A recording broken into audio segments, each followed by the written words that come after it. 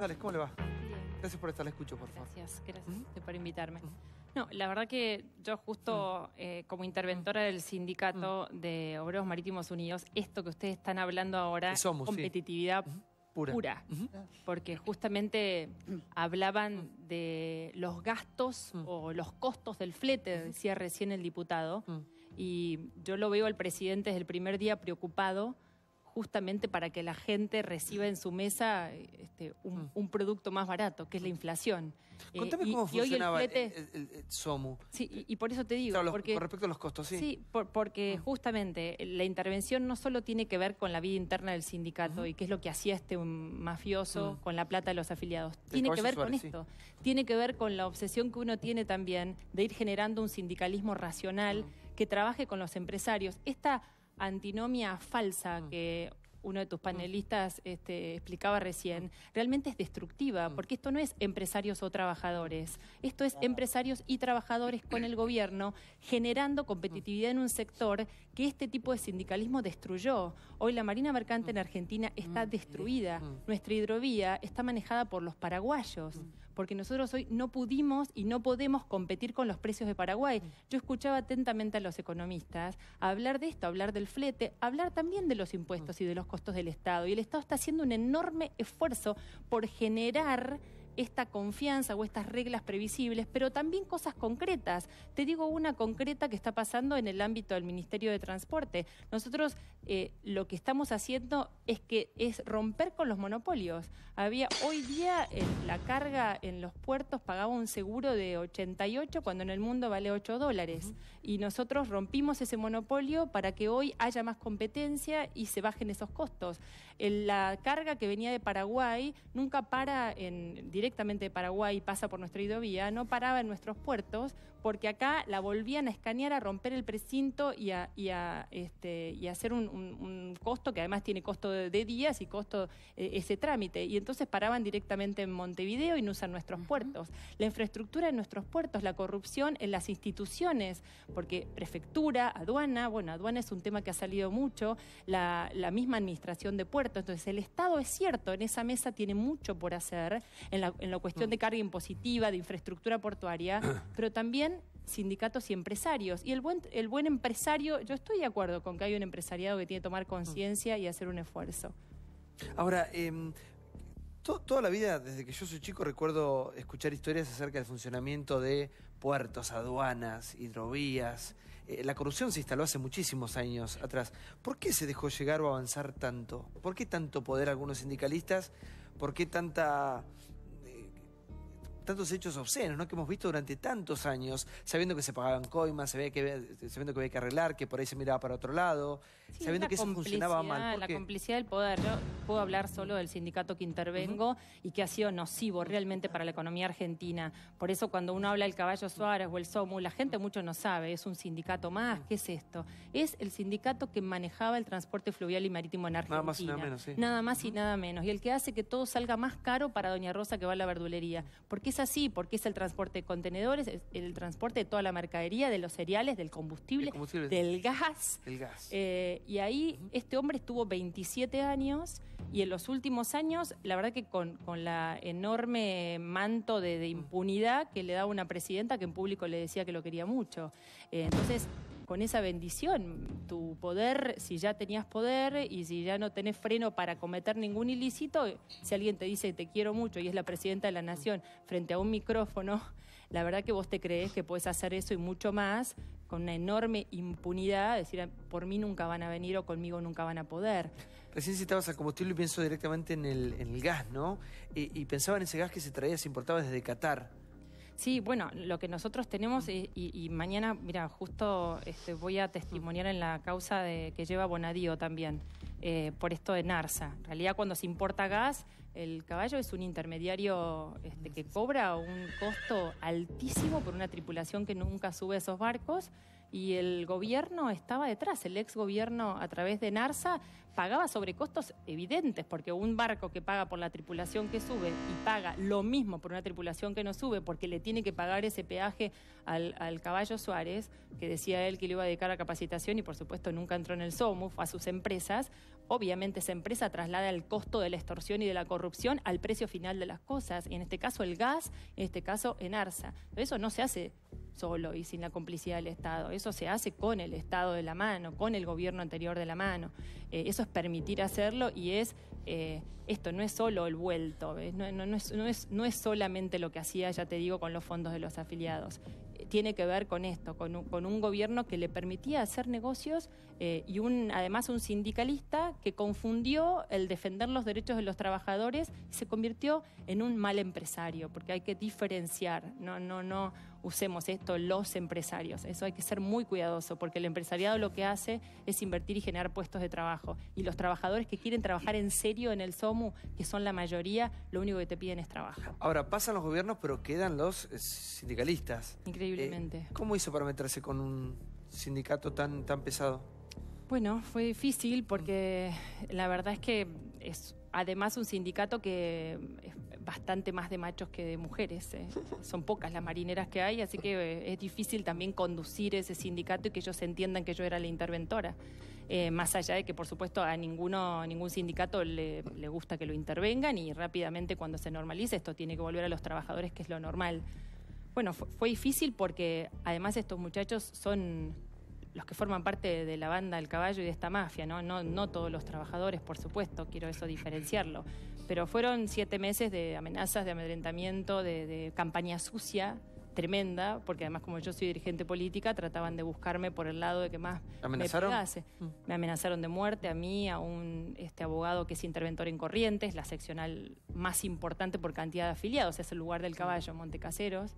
Eh, y hoy sigue, eh, esto sigue. ahora me están demandando a título personal por millones, así que viendo a ver si por qué lado me, debilitan o por qué lado me, agarran de capa caída para decir yo renuncio. Y la verdad que uno tiene la convicción de que, de que esto hay que hacerlo, hay que mm. pelear contra las mafias, hay que terminar con la corrupción y la corrupción tiene un costo enorme, en algunos casos con la vida, porque vemos que también cuando hablas de la policía, pero en este caso, en este caso con la economía de un país, eh, con la vida de la gente. Entonces, eh, cuando vos tenés la convicción, el enorme apoyo del presidente de la Nación, el enorme ejemplo de una gobernadora que está peleando en la provincia, la verdad que dejas el miedo, no pensás, porque si pensás en lo que son capaces y lo que fueron capaces, te quedas en tu casa y, y, temes por los tuyos y temes por el equipo que te acompaña. Pero, Santiago, yo creo que, que en, esta, en esta nos va el futuro de la Argentina. Y entonces por eso es que yo veo a un presidente decidido a construir otra vez la confianza. Vos sin confianza no generás inversiones. Y la confianza lleva tiempo, gestos permanentes y por supuesto decisiones políticas fuertes como las que estamos tomando. Sí, Débora. Sí, usted eh, había hablado en algún momento de una suerte de otesurcito, porque recién mencionó a la filial sindical en la provincia de Corrientes, donde allí el Caballo Suárez tiene un hotel. Em, a ver, lo que sucedía era que con eh, los fondos del sindicato hacía empresas que explotaba de manera personal. por ejemplo, este hotel, eh, lo, que, lo que surge, por lo menos de la investigación que está en curso en este momento, es que fue creado con fondos del sindicato, pero lejos de darle servicios a los afiliados, se explotaba comercialmente y según constan los registros, por ejemplo, había este, un, registro de habitaciones ocupadas o utilizadas superior al que realmente eh, sucedía. Por eso usted hablaba de un otesurcito, digamos, en este contexto, ¿es correcto? Sí, encontramos facturas consecutivas de 40 plazas y en el gobierno de la provincia de Corrientes dice que el hotel tiene solo 24 y esas se las facturaban a los propios accionistas de Elite que eran a su vez secretarios del SOMU, pero en Elite Viajes es la dueña del Hotel Belinda. Mm. Pero ni el hotel ni la empresa tienen que ver con el SOMU. Es 80% eh, eh, de las acciones son, de, son del caballo. Hay un modus operandi muy parecido, en su nivel, por supuesto, a todo lo que hemos visto en este último tiempo de Lázaro Báez, lo mismo los campos en el sur. Ahí veo una foto detrás de ustedes. El casco que de es, en forma en realidad, Sí, es un, bar, es un barco que adentro es un hotel. Eh, hay han invertido bastante plata, es un Eso delirio es lo de ese barco. Madryn, ¿no? Eso es Puerto es Madryn Puerto y ahí está una costa, es el campo que tienen tiene una costa propia Pero ahora explique esto. ¿cómo llega este barco acá y de quién es No, todo en esto? realidad es Sí. una construcción, es como si fuese una casa, pero en forma de barco, tiene unos cuartos arriba, Divino, baños, gusto, un- sí. cosa... Como, como el dragón, lo hizo el mismo del dragón. Sí. No, no, pero, pero les digo que lo que han gastado, porque cuando entras a ese barco tiene toda una madera impresionante, se han gastado una millonada en un delirio, porque para llegar a ese campo tenés que hacer 60 kilómetros de ripio. Obviamente que no iba ningún afiliado a ese campo, además ese campo no está ni siquiera en la oferta turística de- del ¿Y SOMU. para quién era? ¿Quién podía ir? Era para él y sus amigos, este, había unas lanchas de 12 metros que salían ahí, es una costa que no tenía control de nada, este, y bueno, uno puede imaginar mil cosas, yo puedo hablar solo de lo que encontré pruebas, pero es un campo este, enorme, que al lado hay otro campo que es del yerno de él, que las construcciones son iguales, uno sospecha que este, se hizo con la misma plata del SOMU que hacían esos campos, esos campos son del SOMU, eh, se gastaba en la construcción de ese hotel que se, se hizo al lado de, de la empresa de su yerno.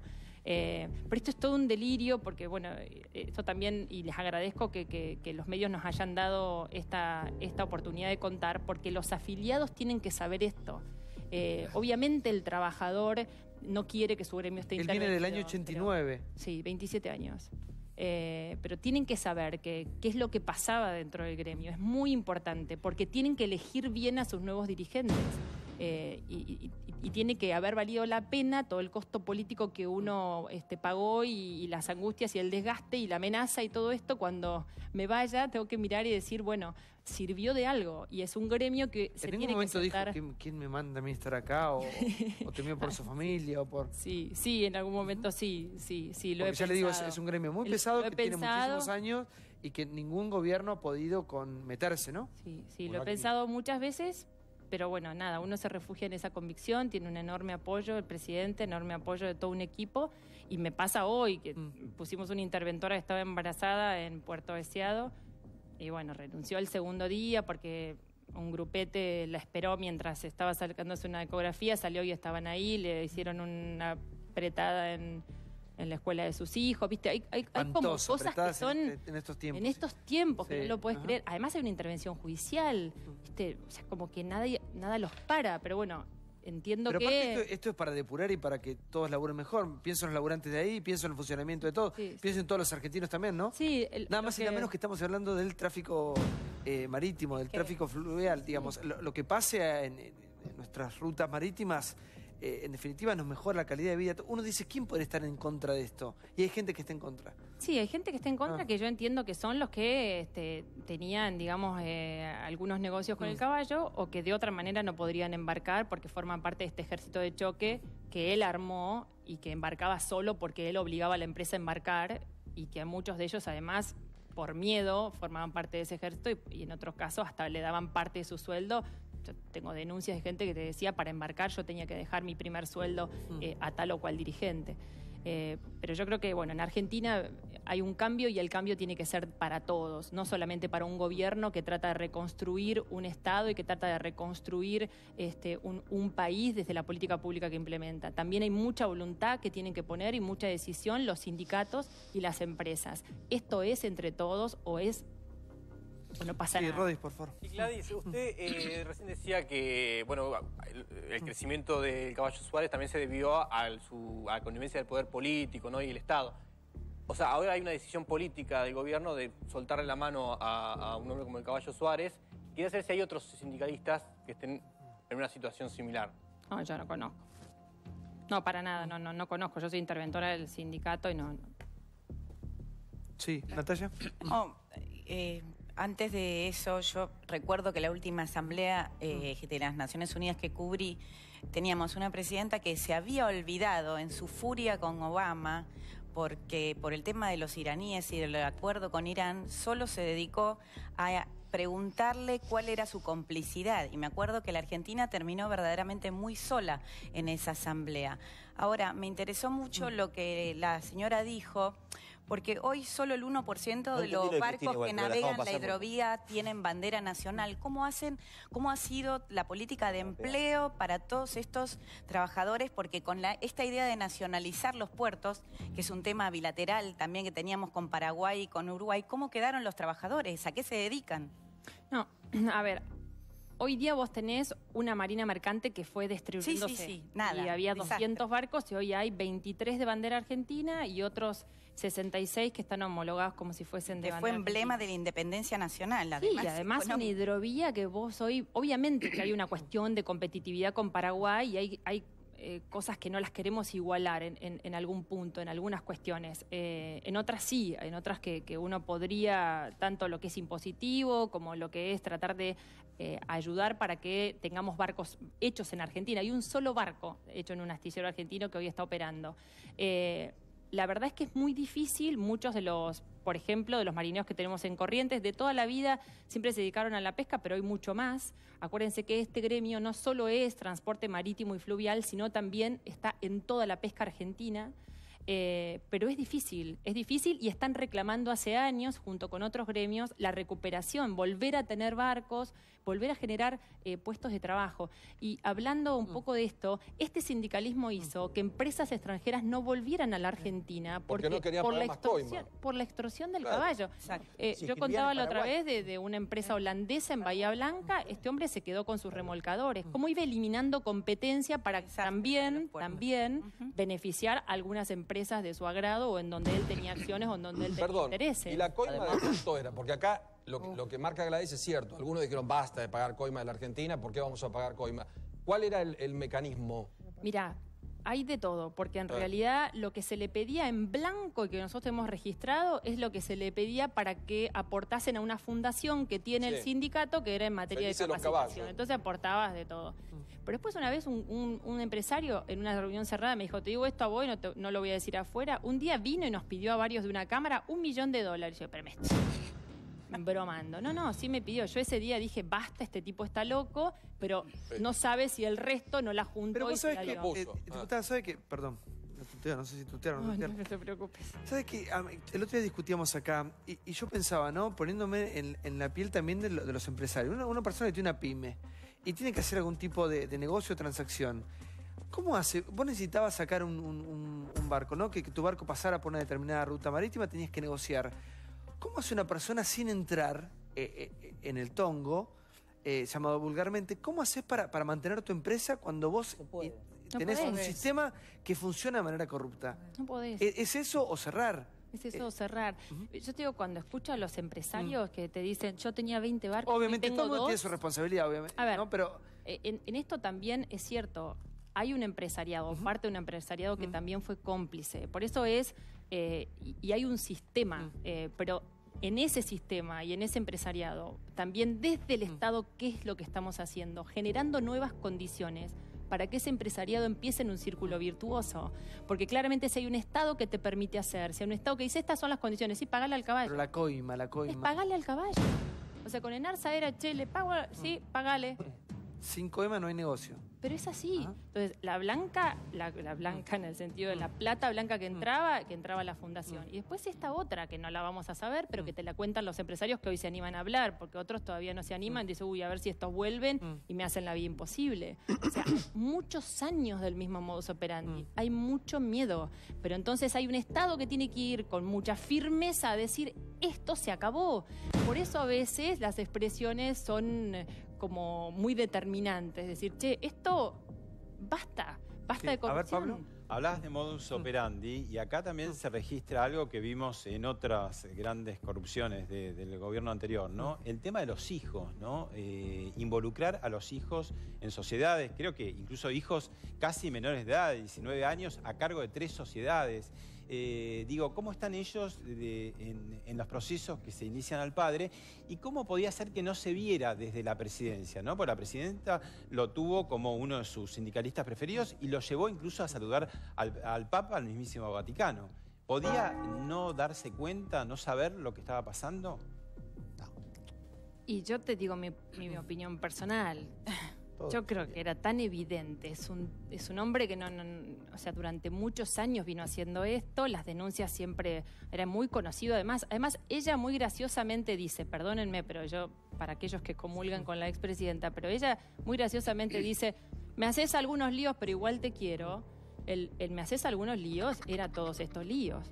Igual esto venía de antes Pero yo también. estaba de- Sí, pero, 2014. pero sí, No, a ver, son de Angola 27 se años. Uno no dice que este hombre haya empezado con esto este, hace 12. Sino que simplemente se miró para otro 27. lado. Pero lo que digo es que no, no hubo, como hoy hay, la voluntad enorme de decir se terminó. Pero diputada, todo empresario que se dedicara al rubro sabía que había que pagar coimas. Sí. Y eso ya prácticamente estaba casi eh, institucionalizado. Pero o sea, era Santiago, parte te, de, muestran, te muestran una planilla de costos, Ajá.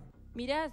La coima estaba como parte de ta, los costos. Corrupción o coima, Ajá. o sea, y, y- y lo ves, y, y- y te, lo, te lo dicen porque lo tenían en cuenta para su para su, su, su rentabilidad.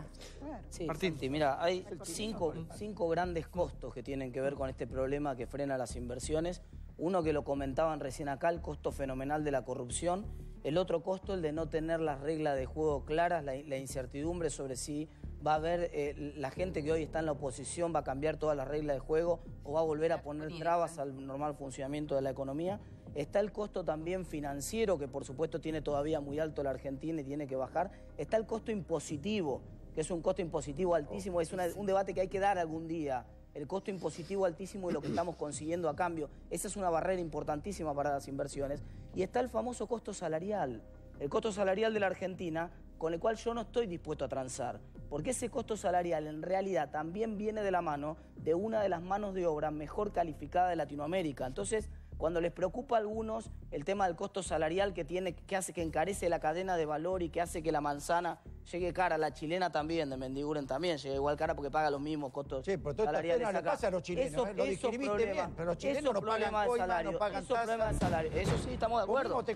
En eso estamos de acuerdo. En eso estamos de acuerdo. en eso estamos de acuerdo. En eso estamos de acuerdo. Ninguna de esas se soluciona, ninguna de esas cosas se soluciona cerrando la economía. En eso no, estamos de acuerdo. Ahora, eh, ese es un debate que vamos a tener que dar, eh, hablar de los cinco grandes problemas. Algunos se están atacando. Otro de los problemas que mencioné recién, en el costo financiero se está haciendo algo porque se está bajando el costo financiero, aunque algunos quieren que no venga el Fondo Monetario y otra serie de cosas, pero en, en el gran tema del que no se está hablando y hay que empezar a hablar es del costo impositivo en Argentina. Tiene que ser más barato hacer negocios en Argentina. Es carísimo. Hoy ar- en Ar- Argentina, cualquier inversor que viene a Argentina tiene un socio bobo que, Que no le aporta Estado. nada y se viene, dice, es como que se te siente uno en la mesa todos los días y diga, mira, labura vos y me llevo la mitad yo. Esto es insostenible. Parece casi Efectivamente, El, el tema de los costos en Argentina es un Soy tema gravísimo y creo que los sindicatos, sobre todo algunos sindicatos cuyos si- sindicalistas son ya hace décadas que están a cargo, eh, son responsables. Por ejemplo, hace poco tuvimos un- una, una situación, eh, hoy vos sabés que uno de los, de los costos eh, que se pueden bajar fácilmente tiene que ver con Internet. Eh, mandar los resúmenes de los bancos o de las, de las tarjetas de crédito por internet. Y ahí los camioneros se enojaron porque ellos no iban a poder distribuir lo- la- lo- los papeles, entonces había que gastar papel para poder seguir mandando por camión algo que en realidad se puede... ¿Por qué? Para cuidar la fuente de trabajo. Ahora, si vos te fijas, eso pasa también con, con- con los trenes. Los trenes sacaban trabajo a los camioneros y entonces eh, Moyano fue uno de los que más presionó para que Sí, tengamos el estado que hoy tienen los trenes. Y esto no es una, no es una casualidad. Este, pa- vos- es, es un, es un esquema que en realidad de, de- de retraso eh, donde los sindicatos tienen un enorme poder y, Ahora- y, no- y- y el Estado de alguna manera por Sí. temor a los sindicatos no los pelea. Yo lo estoy escuchando también a, a la diputada atentamente, eh, el nivel de violencia, ¿no? Eh, que asusta. Eh, y hay que sobre- sobreponer el, el- el miedo y, y seguir hacia adelante. Yo creo que depurar eh, estas cuestiones para la Argentina puede ser muy beneficioso. Eh, esperemos, además- obviamente, pensando primero en los trabajadores, eh, en mejores condiciones laborales y después también en, en blanquear muchas muchos lugares, muchas instituciones, muchos organismos que funcionaban mal. Ahora, ¿hasta dónde quieren llegar? No, yo en este tema es entregar el sindicato saneado con enorme transparencia, que es lo que no había. O sea, se llevaba todo como una libreta almacenero a propósito, así que hemos incorporado procesos, lo que se hace en una institución que vos la auditás y, por supuesto haces el resultado de hacer manuales de procedimiento y demás y entregar ese sindicato saneado y, y, este, a los trabajadores. Hay que hacer una elección y en mi cuestión personal va a terminar ahí eh, y ya te digo, deseando que los trabajadores elijan una dirigencia responsable que piense en ellos, porque el caballo Suárez además no solo hizo todo esto con la pantalla del SOMU, generó todas estas empresas, se llevó la plata, este, el SOMU pagaba facturas a estas empresas por servicios que nunca prestaba, sino que también le negó el derecho a trabajar a, los- a- a los, a sus afiliados cada vez que le decía quién podía navegar y quién no. Eh, también convenió este, condiciones en la pesca a la baja. Entonces, hay, hay cosas que yo desearía que cuando yo me vaya eh, quede gente con otra visión y con otros valores, porque en realidad detrás de esto está eso, los derechos de los trabajadores que hay que, por supuesto, siempre protegerlos. Ahora, acompaño la gestión de un presidente que quiere que este sector vuelva a ser competitivo. Y el rol de la Eh, justicia, Y hoy ¿no? día, sí, bueno, Porque además, yo ¿no? Eso quer- es quería recordar lo siguiente. Es cierto que el caballo Suárez llega al sindicato en 1989, pero la consolidación de su poder se le da al expresidente Néstor Kirchner cuando le, le firma una resolución que le permite al, al titular del SOMU este, contratar personal para barcos solo de afiliados del SOMU. Ahí comienza a consolidar este, este enorme aparato de poder y el juez Canicoba Corral, hay que decir quién es el juez que está llevando esta causa, eh, no hizo nada hasta que hubo un cambio de gobierno. Ya estaba procesado eh, el caballo Suárez por entorpecimiento de la navegación, pero fue hasta el cambio de gobierno que el juez Canicoba Corral, con los datos que aporta la intervención de la diputada, decide ampliarle este, el procesamiento con prisión preventiva y negarle la excarcelación, además de embargarlo por 10 millones de pesos. La pregunta que todos nos hacemos es hasta dónde va a llegar la justicia, ¿no? Es, es cierto que Canicoba Corral dijo que él creía que iba a haber un fallo condenatorio respecto del caballo Suárez, pero uno se pregunta, ¿son estos mismos jueces los que durante 10 o 12 años no hicieron nada, ¿no? Cruces. Yo simplemente quiero destacar eh, mi enorme, como modesto gaucho de a pie, digamos, hablando de caballo, mi enorme admiración y respeto hacia el trabajo que ha hecho la diputada. Eh, y re- creo que, eh, digamos, acciones como las que ella ha llevado adelante permiten ganar competitividad sin una devaluación. Y realmente es un modelo de conducta de funcionaria pública y sencillamente mi admiración y ¿Y respeto. qué autocríticas se hacen? A todos le pregunto acá. ¿Qué autocríticas- autocríticas se hacen? Porque esto funciona mal hace muchos años. Sí, es Eh, un sistema. Sí, el Es sistema. un sistema sí. este, por el cual Mm. vastos sectores de, la, de los funcionarios y de la política argentina, eh, los sindicatos y también algunos sectores empresarios entienden el Estado como un botín. Mm. Un botín al cual colonizan, lo exprimen, en este caso lo que. y le ha quitado a la Argentina nivel de vida, calidad de vida, le ha quitado inversiones reales insisto, en la concepción del Estado como un botín y no al servicio de la sociedad. Esto se refleja, mirá, Santiago, en cosas como eh, los 2.800 millones de pesos que pierde el IOMA por comprar medicamentos y falsificar internaciones, el, el Irizar, ¿te acordás el rompehielos? Bueno, todo el arreglo del Irizar, ahora nos enteramos que sale o salió más caro que comprar uno nuevo. Y ahí está la corrupción, que hace que, eh, leía, no sé, por ahí me corrige el vasco, que Chile exporta más dulce de leche y Malbec que la Argentina. Sí. Y los inventores del dulce de leche y el Malbec han sido los productores argentinos. Pero ¿Cómo es posible esto? Esto es lo que hay que arreglar. Y lo que ha hecho Gladys es un aporte extraordinario, y, pero te digo, hay un sinfín de Pero, cosas. pero Igual creo que nadie puede estar. Mira, hay cosas que podemos debatir. Eh, Este punto, eh, el punto donde pone acá el foco la, la diputada, me parece que ahí ten- estamos todos de acuerdo. pero es la Sí, corrupción. esto, esto es, obsceno, ¿no? Sí. Pero eh, creo que la política es muy responsable, porque Claro. hace muchísimo tiempo eh, coimas en la aduana es histórico, coimas en, eh, en eh, el Total. transporte de todo tipo, coimas por donde lo mire, funcionarios que establecen reglas para que justamente vos tengas que ir a tocar el timbre y pedirle que por favor. Ahora, creo que la política vivió de ese sistema mucho tiempo y, creo que eso no se va a cortar del todo hasta que definitivamente el sistema político, y luego si quieren hablemos del judicial, eh, eh, defina cómo se financia. La política tiene que ser transparente. ¿Cómo se financian los partidos políticos? Porque si no, la plata en algún momento pasa bueno, para, para financiar Claro. política. De la campaña. Claro. No igual acá está lleno de ricos, ¿eh? No A ver, a ver. Los chorros. De hecho. No, creo que, Sí. bueno, Ah. los compañeros ahí decían, ¿no? Creo que tiene que ver también con aquel que, digamos, que, que- que no tiene valores y que se le sube el poder a la cabeza y que de repente mezcla todo lo que es, eh, lo que es de él con lo que es de su función pública y, y no es honesto y, y- y roba y viene al Estado para enriquecerse, que es un poco lo que decía recién Clara.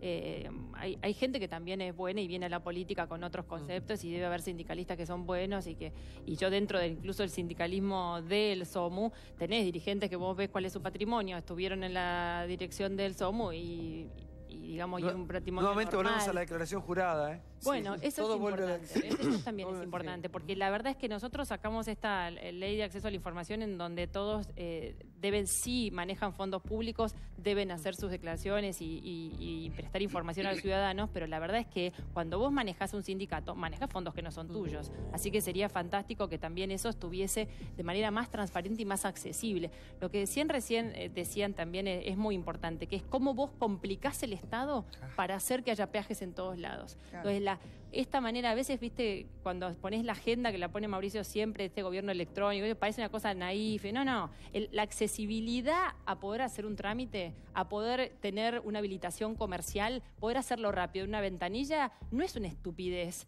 Es justamente eliminar los peajes. Más regulaciones eliminar la más corrupción. el- Mirá lo que pasó, vos recién hablabas de la aduana. Justamente uno de los peajes que se crearon en la aduana, a propósito de todo lo que está pasando con Gómez Centurión, fueron las famosas de JAI, entre Echegaray, Moreno y el ex gobierno este, de Cristina Kirchner. Pusieron tantas regulaciones que se creó un negocio fantástico. Fíjate que se está hablando de una cifra espectacular, 14 mil millones de dólares. Es muchísimo dinero. Y ese es el dinero que este, algunos hicieron como negocio fabuloso, eh, haciendo declaraciones de importaciones que nunca se realizaban. El Banco Central le daba dólares al precio oficial en una cuenta fuera. Porque un negocio existía el fantástico cepo. para algunos. Existía el cepo, claro. Sí, Diego. Eh, hoy hablé con un alto dirigente de, de SOMU y, y que tiene relación con esto. No voy a dar el nombre, obviamente, porque que fue en off, pero sí explicar un poco la situación o por lo menos eh, plantear algunas cuestiones que han pasado. Este dirigente amenazado de muerte por el caballo, digo, para que entiendan desde, desde dónde, ¿De dónde habla? desde dónde habla, no, no justamente socio, sino por el contrario, denunciando todo lo que hacía este, el caballo y sumando lo que dice la diputada. Y contando, me contaba la historia de los negocios que hacían entre los empresarios, como una empresa holandesa, Smith, que llegaba a la Argentina a valores inferiores al costo simplemente para arruinar a las otras empresas. Me contó la historia de, y que cuente de los López, los, los López eh, de Oramar, de Camesa, de Maruba, de las diferentes empresas que me, me ha contado hasta detalles de cómo se manejaban. Digo, una mafia, una mafia. Este, entonces, digo, lo que hay que erradicar es desde, desde, desde la entraña y desde el origen y de esta política mercante que según también contaba, no es de ahora ni del gobierno anterior, sino son die- los 10 últimos gobiernos han tenido la misma política porque hay un sindicato y un sindicalista que hacen negocios y que mientras todo cierra no hay posibilidad entre amenazas y, y las denuncias que eran desestimadas y el arreglo hasta con la justicia para que esto no avance y la subsecretaría que tampoco porque tenía su dinero que aportaban para que la subsecretaría en los últimos gobiernos estoy hablando, ¿eh? anterior, amén, digo, desde antes, esto no va a cambiar. Ahora bien, dicho esto, la, la inquietud y todo esto, la intervención, ¿cómo se da del sindicato? ¿No lo tiene el Ministerio de Trabajo? ¿Cómo llega a ser intervenido este SOMU? No, ¿Por qué es pues- usted, digamos, y no, no es del Ministerio de Trabajo? Sí. Ahí fue una decisión del juez Canicoba Corral, que tiene estas denuncias del 2012. Él había procesado al caballo y a dos personas más por entorpecimiento de las vías navegables y por peligro para la navegación, porque fue una operatoria de buques muy peligrosa, justamente con buques que llevan combustible. Y el juez entendió por todas las denuncias que había de los otros delitos, extorsión, administración fraudulenta, malversación de fondos, eh, que hoy está procesado por esos delitos, que hacía falta intervenir el sindicato eh, porque estaba en riesgo el patrimonio de los afiliados si esa gente seguía dentro del sindicato. Entonces, él dispone este, esta intervención desde su este, atribución penal. Eh, así que ahí es cuando él decide que intervengamos el sindicato, no solamente para investigar y para hacer un peritaje, que de hecho ya había habido allanamientos en las oficinas del sindicato de la Fundación. Nosotros intervenimos cinco instituciones, porque intervenimos el sindicato, la Mutual, la Fundación y dos empresas, Malonot y San Jorge. Eh, o sea que tienen una, una decisión mucho más amplia que la intervención de un sindicato. Tiene que ver con intervenir empresas este, que estaban dentro O sea, de es lo legal, que la hoy intervención es... es legal en la forma que se dio y La- la dispuso el juez. Sí, y fue, y fue, No, lo este, aclaro, es fue legal. confirmada por la Cámara también, porque por supuesto los dirigentes que forman parte del entorno del caballo hicieron lo propio y la Cámara este, confirmó la intervención, nos pidió un plazo, esta intervención termina el 22 de febrero y ahí sí trabajamos con el Ministerio de Trabajo en normalizar y llamar a elecciones. Santiago. Sí, por favor, un minuto, sí, Petrela. No, solamente quería decir que esto es, es importantísimo, eh, aclarar que nunca hubo relaciones carnales, hubo convergencias, aclarar que no hay pendularidad, hemos vuelto a lo normal. La última reunión de alto nivel con los británicos fue en el 2002, Carlos Rucauf con Jack Straw, gobierno de Eduardo Dualde. Y quiero decir que volver al mundo quiere decir vender limones a Estados Unidos, no solo biodiesel, como ha destacado Clara.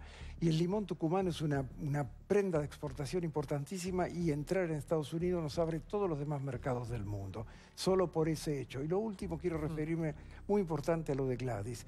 La Argentina ha perdido presencia estratégica en la hidrovía producto de estas cosas extrañas.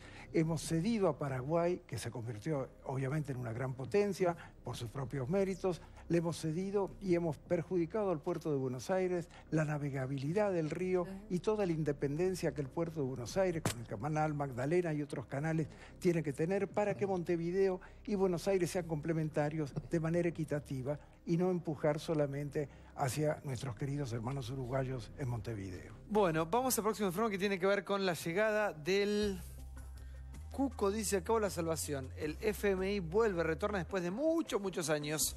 Aquí está el informe, mira.